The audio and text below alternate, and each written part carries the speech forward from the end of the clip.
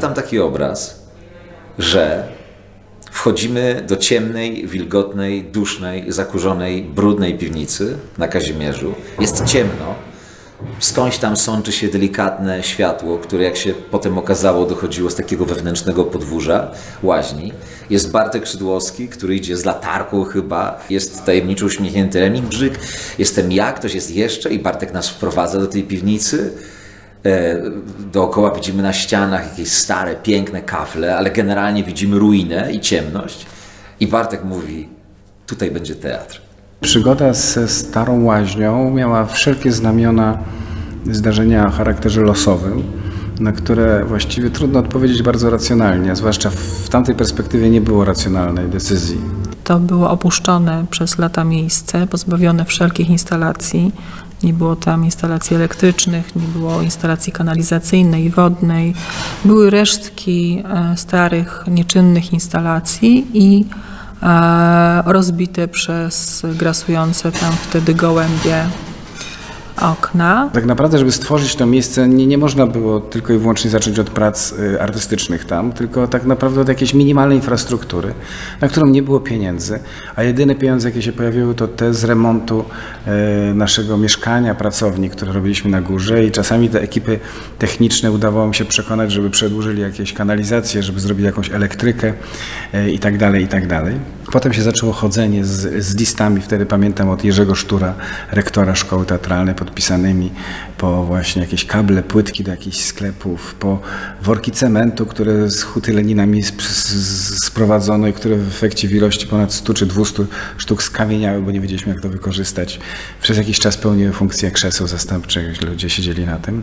To było niezwykle śmieszne, ale i y, takie pełne idealizmu, bo myśmy łazili do, do łaźni z kilogramowymi workami cementu szpachlowego i takimi szpachelkami i próbowaliśmy w czwórkę czy w piątkę te łaźnie remontować za pomocą tych, e, tego gipsu i tych szpachelek, łatając pomniejsze dziury, kiedy to wszystko po prostu wymagało generalnego remontu. Była określona atmosfera w Polsce, czyli początek lat 90., jakiś rodzaj takiego, takiej rozbudzanej w nas wiary że można los we własne ręce wziąć i dokonywać jakichś cudów. Mój przyjaciel Greg Kowalski z Andreą Pensado, którzy opuszczali już Polskę, wracali do, jechali do Argentyny, e, po prostu mi zasponsorował tak zwane bloczki e, gipsowe, z których ja z kolegą drugim, są z moim sąsiadem mieszkał, skonstruowałem toaletę. Ale okazało się oczywiście, że zrobiłem to krzywo i nie można było w tych framugach umieścić drzwi, więc mimo e, tak intensywnej pracy i takiego wysiłku były toalety, ale była przed nimi stała drabina z ręcznikiem, która funkcjonowała jako drzwi, więc tam było ciągle coś w rodzaju nieustającego performansu.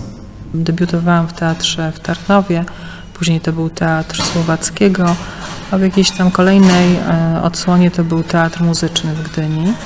I, e, i, I to już była olbrzymia scena i bardzo dużo możliwości.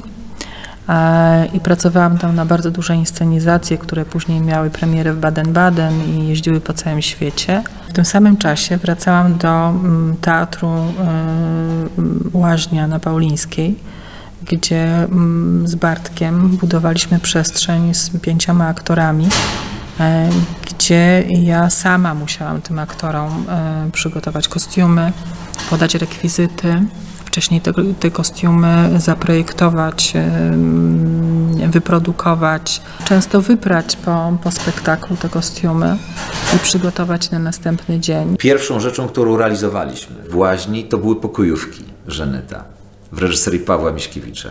I przez długi czas y, pojawiły się tam właśnie już jakieś reflektory, jakieś światła, już się powoli zaczynało to y, robić takie powiedzmy zawodowe. I Paweł wymyślił sobie, Miśkiewicz, że elementem scenografii do tych pokojówek no przede wszystkim będą te niesłychane okna, które właśnie wychodziły na podwórze. Okna, przez które y, dochodziły głosy życia tej kamienicy, przez które ludzie krzyczeli do nas: Zamknijcie się, ciszej tam na dole, co to jest, co to się dzieje.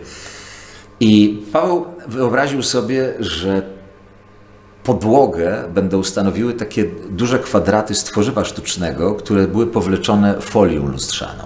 Te kwadraty były różnokolorowe. I pamiętam ten moment jak dziś, bo to był taki, taki moment, który zostaje pod powiekami i w mózgu, i w sercu na całe życie, kiedy położyliśmy tą podłogę i uruchomiliśmy te parę reflektorów i bliki lustrzane z tych reflektorów spowodowały, że ta cała przestrzeń zaczęła pływać, lśnić i migotać i nagle w tej szarej e, łaźni dokonał się cud, znaczy powstała jakaś przestrzeń teatralna i e, no, no mnie tam zapadło dech w piersiach. Znaczy to było tak piękne, to, to było jedno z moich najwspanialszych przeżyć teatralnych, ten cud tego, kiedy nagle to zalśniło wszystko i pomyślałem sobie, Jezu, tu jest teatr. Jak czasami rozmawiam z młodymi menedżerami czy animatorami kultury, którzy przedstawiają jakąś taką wizję, jak coś powinno wyglądać, to wiem, że to, ta, ta wiedza właściwie oznacza pewną niezdolność realizacyjną, bo człowiek jak za dużo wie, to właściwie nie działa, to znaczy nie jest w stanie wskoczyć,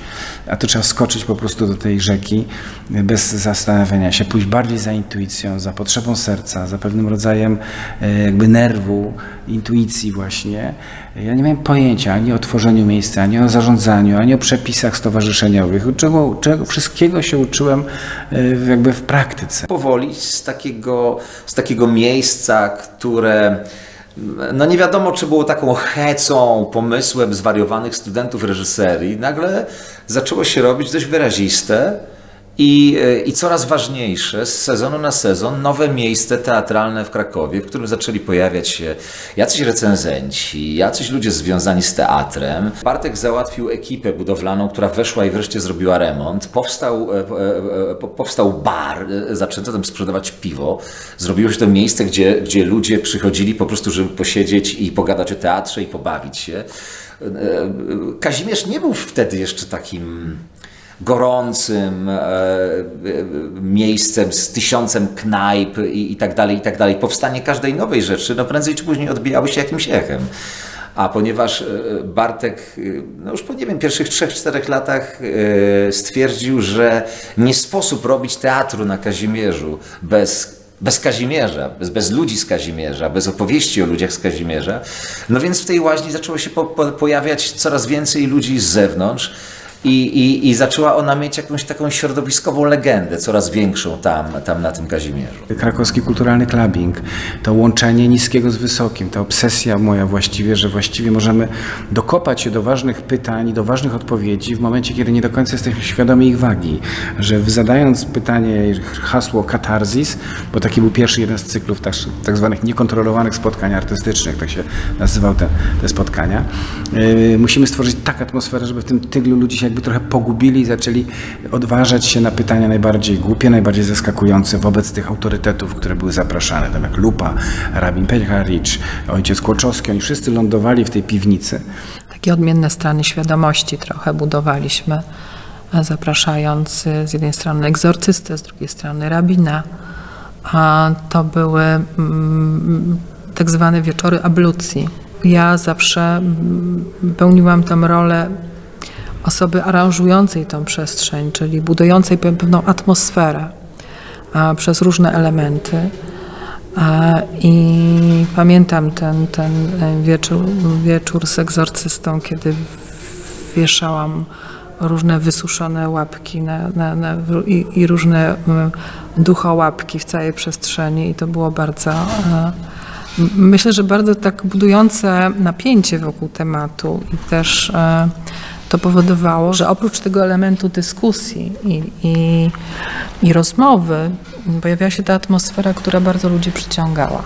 Jednym z profesorów, który mocno wsparł mnie, był Żukopalski. E, I to była jedna z pierwszych osób, do których poszedłem, żeby e, zyskać jakiś rodzaj supportu. To była osoba, która obserwując ten nasze zmagania się z tą materią, wsparł nas i dzięki niemu pojawiliśmy się po raz pierwszy u Baszki Marcinik w programie w Trójce, prawda, z właśnie Stania Miletycz na temat skóry węża. Ta skóra węża na pewno zamykała ten pierwszy okres, który, który zaczął się tą dziwną wizją e, niepewną przyszłości i marzeniem jakimś idealistycznym, że zrobimy tu teatr i, i takim, takim miejscem, kiedy ten teatr już się tam rozpędzi.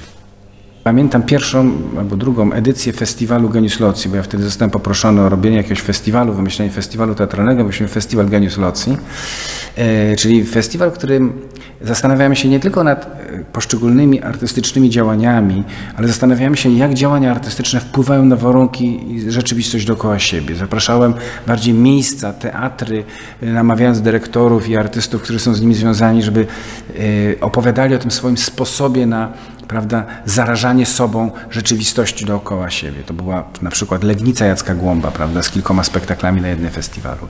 Ja zrobiłem festiwal Dionisylocji, który był poświęcony Kazimierzowi i namówiłem tych kilkudziesięciu właścicieli knajp, galerii, różnych miejsc dziwnych na to, żeby tego dnia, kiedy zrobimy tą imprezę, poczuli się jak gospodarze, żeby coś wymyślili, albo jakiś konkurs, albo jakąś koncert, albo żeby przynajmniej, jak już nic im się nie chce, żeby jakąś zniżkę na piwo dali. I słuchajcie, to był pierwszy raz na Kazimierzu, kiedy ja, jak szedłem nocą po tych wszystkich miejscach, to wszyscy, o, to były jakieś owacje w ogóle. Byłem królem Kazimierza jednej nocy, bo to się okazało, że była taka możliwość, że na Kazimierzu zabraknie piwa. Przyszły jakieś niezwykłe tłumy. Tu był koncert, na jakiś, tu zrobiliśmy koncert na podwórku, tu zrobiliśmy jakąś wystawę, Tutaj jeden spektakl, drugi spektakl, plus oczywiście te inicjatywy e, indywidualne tych wszystkich ludzi. To spieliśmy w taką, ja to spiałem w taką narrację takiej mapy, jak to się wszystko przetyka i to rzeczywiście stało się jakimś takim bardzo mocnym magnesem. No było kapitalne e, doświadczenie, no ale to było już właściwie właściwie dwa lata przed naszym końcem na, na Kazimierzu, tak naprawdę 2001 rok bodajże.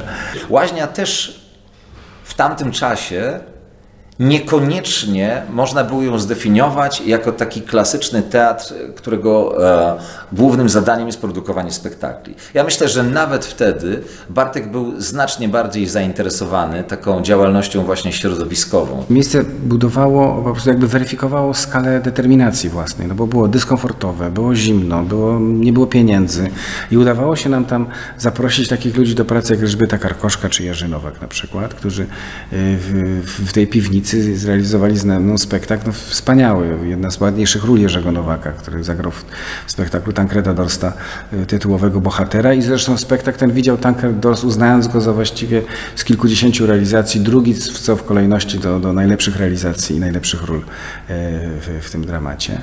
Więc ja pamiętam Jerzego Nowaka, który w trakcie próby mówił, przepraszam, proszę o przerwę, podchodził do grzejnika, masował ręce, odwracał się plecami, żeby zagrzać stare plecy, miał 4 po, po 80 i kontynuował prób. Możemy kontynuować.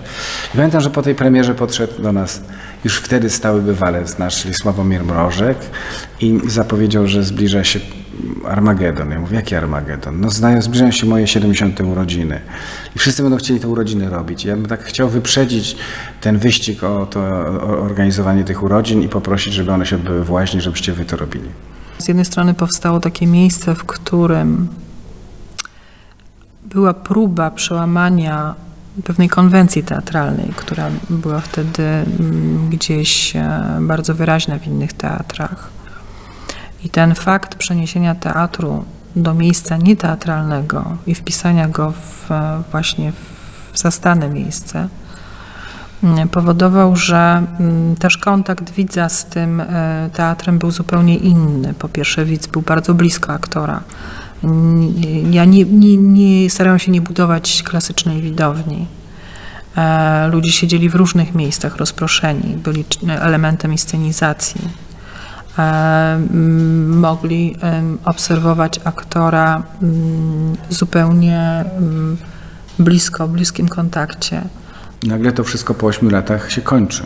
Właściwie wychodzimy, zostajemy z niczym wydawałoby się, ale zostaliśmy przecież z ideą, nie? z jakimś rodzajem nie, nie, jakiejś myśli o tym, że to po prostu pewna idea stanowi wartość i tą ideę można realizować każdym innym miejscu. Stąd potem nagłe te przenosiny do Nowej Huty, które stały się krokiem dalej tak naprawdę w rozwoju pewnego myślenia o miejscu kultury. Bo Stara Łaźnia zaczęła we mnie proces myślenia o miejscu kultury. To znaczy, co to znaczy miejsce żywe, jak je ożywić, jak stworzyć od zera. To są te pytania, które potem jako bagaż doświadczeń mogłem zaimplantować tutaj w Nowej Hucie biorąc pod uwagę inne okoliczności i społeczne, i inne okoliczności wyzwań, które stały przede mną.